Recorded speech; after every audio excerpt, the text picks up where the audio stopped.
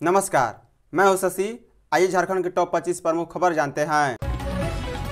मुख्यमंत्री मैया समान योजना पर रोक लगाने के लिए याचिका दाखिल। झारखंड में शुरू की गई मुख्यमंत्री मैया समान योजना पर रोक लगाने के लिए हाई कोर्ट में याचिका दाखिल की गई है। याचिका में कहा गया है कि यह चुनावी योजना है, इसलिए इस पर रोक लग जानी चाहिए।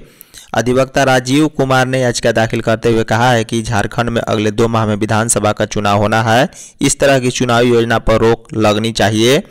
आपको बता दें कि योजना के तहत सरकार इस योजना के लिए पात्र महिलाओं को बारह हज़ार रुपये की सहायता प्रदान करेगी और यह धनराशि सीधे उनके बैंक अकाउंट में जाएगी। इस योजना का मकसद आर्थिक रूप से कमज़ोर महिलाओं को समृद्ध बनाना है। इस योजना का पैसा हर महीने की पंद्रह तारीख को सरकार महिलाओं के खाते में डालेगी। इस योजना के लिए इक्कीस से पचास वर्ष की आयु की महिलाएँ पात्र होंगी। झारखंड सरकार का महिला एवं बाल विकास और सामाजिक सुरक्षा विभाग इस योजना का प्रबंधन करता है। लोबिन हेम्ब्रम भी भाजपा में हुए शामिल। झारखंड के बोरियो के पूर्व झामुमो विधायक लोबिन हेम्ब्रम भाजपा में शामिल हो गए हैं। भाजपा प्रदेश कार्यालय में इनके लिए मिलन समारोह कार्यक्रम रखा गया था। जिस समय हेम्ब्रम भाजपा की सदस्यता ली उस समय झारखंड भाजपा के कई दिग्गज नेता मौजूद थे। बता दें, प्रदेश भाजपा कार्यालय में आयोजित कार्यक्रम में असम के मुख्यमंत्री हेमंत बिस्वा शर्मा और प्रदेश अध्यक्ष बाबूलाल मरांडी ने उन्हें भाजपा की सदस्यता दिलाई। भाजपा में शामिल होने के बाद उनके बोरियो विधानसभा से चुनाव लड़ने की संभावना है। लोबिन हेम्ब्रम ने 26 अगस्त को कहा था कि वो जल्द ही भाजपा में शामिल होंगे। भाजपा में शामिल होने के बाद लोबिन हेम्ब्रम ने कहा है कि झारखंड मुक्ति मोर्चा का गठन जिस उद्देश्य से शिबू सोरेन ने किया था, वह पूरा नहीं हुआ। पार्टी उनके सिद्धांत से भटक गई है। शिबू सोरेन ने शराब पीने का विरोध किया था। उत्पाद सिपाही की बहाली में मौत के लिए सरकार जिम्मेदार। पलामू में उत्पाद सिपाही की बहाली के दौरान तीन अभ्यर्थियों की मौत पर सांसद बीडी राम ने हेमंत सोरेन को कटघरे में खड़ा किया है। उन्होंने इस मौत के लिए सरकार को जिम्मेदार ठहराया है। उन्होंने कहा है कि ज़िले में सिपाही भर्ती में शामिल लोगों की मौत हो रही है। इसके लिए वर्तमान सरकार जिम्मेदार है। उन्होंने मांग की है कि मृतकों के परिजनों को मुआवजा दी जाए। बता दें, पलामू से बीजेपी सांसद विष्णु दयाल राम ने आगे कहा है कि बहाली प्रक्रिया के दौरान लापरवाही बरती जा रही है। भीषण गर्मी के बीच ये बहाली हो रही है तो मौत होगी ही। सरकार या तो बहाली तत्काल के लिए बंद करे या फिर इसकी प्रक्रिया में बदलाव लाए। सांसद ने उत्पाद सिपाही बहाली की प्रक्रिया और सरकार की मंशा को लेकर कई गंभीर सवाल खड़ा किए हैं। उन्होंने कहा कि सरकार गलत वक्त पर भारी कुव्यवस्था के साथ बहाली ले रही है। बीजेपी के इस नेता ने सवाल पूछा है कि आखिर नियुक्ति को लेकर इतनी हड़बड़ी क्यों है? झामुमो में आंदोलनकारियों का अपमान। चंपाई सोरेन के बाद संतालीस समाज से आने वाले लोबिन हेम्ब्रम ने शनिवार को भाजपा की सदस्यता ली है। तीन बार बोरियो के विधायक रहे। लोबिन की सदस्यता हाल ही में झारखंड विधानसभा से समाप्त हुई थी। लोबिन हेम्ब्रम के सदस्यता ग्रहण के मौके पर भाजपा प्रदेश अध्यक्ष एवं पूर्व मुख्यमंत्री बाबूलाल मरांडी ने कहा कि झारखंड की फिजा बदल रही है। परिवर्तन की ब्यार बह रही है।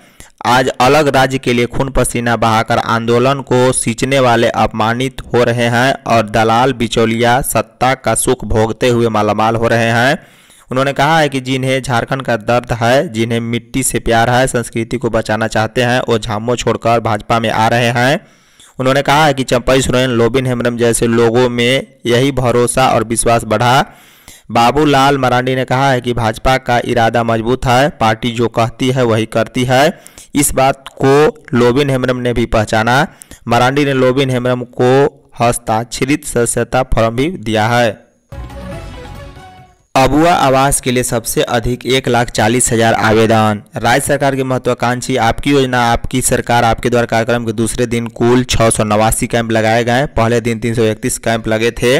इनमें से अबुआ आवास योजना के लिए सबसे अधिक एक लाख चालीस हज़ार तीन सौ छियासठ आवेदन आए थे। वहीं दूसरे दिन लगे कुल कैंप में छः सौ नवासी में दो लाख पैंसठ हज़ार पाँच सौ एक आवेदन रजिस्टर्ड किए गए हैं। इनमें से चौदह हज़ार आठ सौ बानवे आवेदन डिस्पोज और उनचास आवेदन अस्वीकृत हुए हैं। वहीं दूसरे दिन दो लाख पचास हज़ार छः सौ साठ आवेदन पेंडिंग रहे। बता दें, पलामू ज़िले में सबसे अधिक उन्नीस हज़ार आठ सौ तेईस आवेदन आए थे और जामतड़ा ज़िले में आए आवेदनों में से सबसे अधिक चार सौ पच्चीस का निपटारा किया गया। कुल सात फोकस स्कूलों में से एक लाख पचहत्तर हज़ार पाँच सौ तैंतालीस आवेदन आए। बता दें, सृजन पेंशन योजना के लिए सोलह हज़ार एक सौ तिरासी और सवित्री बाई फुल्ले किशोरी समृद्धि योजना के लिए तिरसठ सौ उनचालीस। वहीं जाति प्रमाण पत्र के लिए भी उनचालीस सौ सतहत्तर आवेदन आए और अबुआ स्वास्थ्य सुरक्षा योजना के लिए इकतीस सौ एक आवेदन आए थे। नौकरी की दौड़ में 10 दिन में 8 की मौत। झारखंड में उत्पाद सिपाही की बहाली के लिए आयोजित दौड़ में 10 दिनों के दौरान अलग अलग केंद्रों में शनिवार तक 8 अभ्यर्थियों की मौत हो चुकी है। वहीं सैकड़ों अभ्यर्थी बेहोश हो चुके हैं। शनिवार को भी हजारीबाग के पद्मा सेंटर में 26 साल के सूरज वर्मा की मौत हो गई। सूरज गिरिडीह ज़िले के मनिकबाद गाँव का रहने वाला था।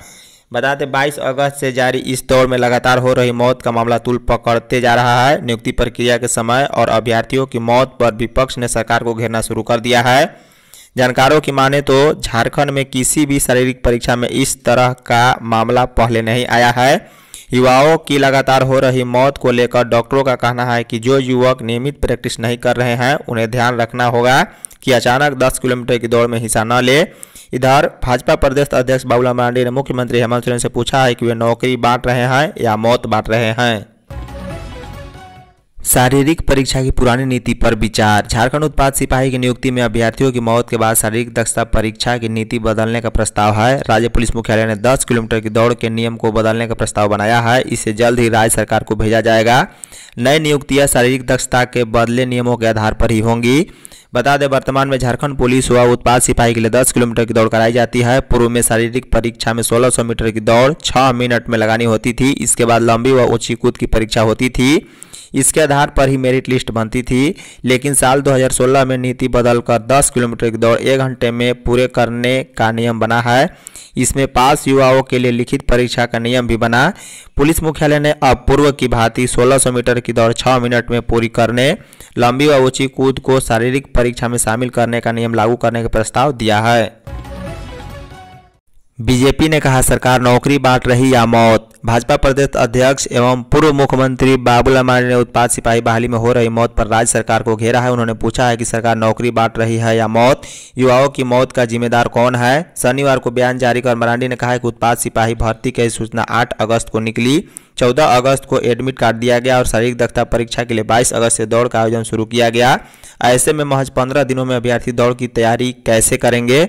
मरानी ने राज्य सरकार से मांग किया है कि बहाली के दौरान बेरोजगार युवकों की मौत की न्यायिक जाँच कराए और मृत युवकों के आश्रितों को उचित मुआवजा तथा सरकारी नौकरी उपलब्ध कराए।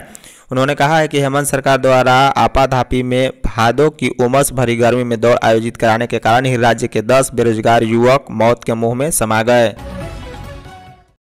सरकारी स्कूलों में दो से मनेगा स्वच्छता पखवाड़ा। झारखंड के सरकारी स्कूलों में दो सितंबर से स्वच्छता पखवाड़ा मनेगा। स्कूलों में बच्चों को ठहराव, स्कूलों को सुसज्जित करने और बच्चों को शारीरिक, मानसिक व शैक्षणिक स्तर पर मज़बूत करने के लिए स्वच्छता पखवाड़ा का आयोजन किया जाएगा। स्कूली शिक्षा एवं साक्षरता विभाग ने इसका शेड्यूल तय कर दिया है। झारखंड शिक्षा परियोजना परिषद के राज्य परियोजना निदेशक आदित्य रंजन ने सभी उपायुक्त और उप विकास आयुक्त को इसके लिए निर्देश जारी कर दिया है। स्वच्छता पखवाड़ा में विद्यालय के सभी बच्चों को सक्रिय भागीदारी सुनिश्चित करना है। साथ ही ग्राम पंचायत के सदस्य, विद्यालय प्रबंधन समिति, शिक्षकगण, बाल संसद, अभिभावक माता पिता के सदस्यों को भी कार्यक्रम से जोड़ना है।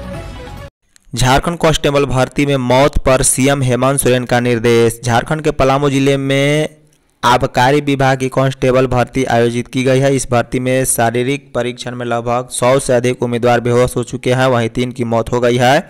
उम्मीदवारों की बेहोश होने की संख्या बढ़ती जा रही है। इसे ध्यान में रखते हुए अधिकारियों ने सुबह साढ़े चार बजे से शारीरिक परीक्षण आयोजित करने का निर्णय लिया है।